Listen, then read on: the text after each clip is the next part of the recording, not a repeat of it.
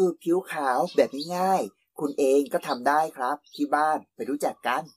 สวัสดีครับ วันนี้เราจะมาแนะนำสูตรเด็ดสครับผิวขาวนะครับ แบบง่ายๆ ที่คุณสามารถทำตามได้ทันที เพียงแค่คุณมีวัตถุดิบเหล่านี้ แล้วทำตาม ใช้เวลาไม่นานครับ วันละประมาณ 10 นาที ก็สามารถช่วยคุณได้เห็นผลทันทีนะครับ ภายใน 3 วันไปรู้จักกันเลยครับ วัตถุดิบที่คุณควรจัดเตรียมมีดังต่อไปนี้ครับ 1. น้ำมะนาว 2. แป้งฝุ่น 3. เบกกิ้งโซดา 4. นมครับ 5. น้ำร้อน 6. แล้วก็อย่างสุดท้ายนั่นก็คือถ้วยครับ พร้อมหรือยังครับ ถ้าพร้อมแล้วเริ่มได้เลยครับ เข้าสู่ขั้นตอนการทำและการจัดเตรียมครับ ให้คุณใช้น้ำมะนาวประมาณ 1 ลูกนะครับ บีบลงไปใส่ถ้วย หลังจากนั้นก็ใช้ผงฟูหรือเบกกิ้งโซดานะครับ ประมาณ 1 ช้อนชา แล้วก็ใช้ แป้งฝุ่นนะครับ ประมาณ 1 ช้อนชาเช่นเดียวกัน รวมไปถึงนมนะครับ ประมาณ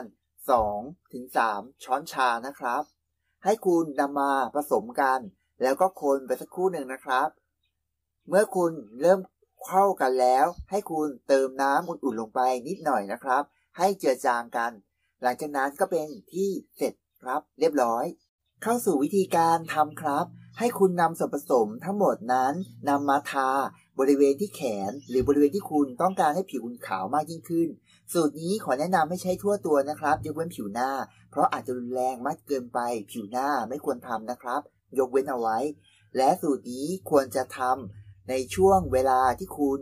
เตรียมตัวจะอาบน้ำนะครับ ให้คุณทำทาทิ้งเอาไว้ประมาณ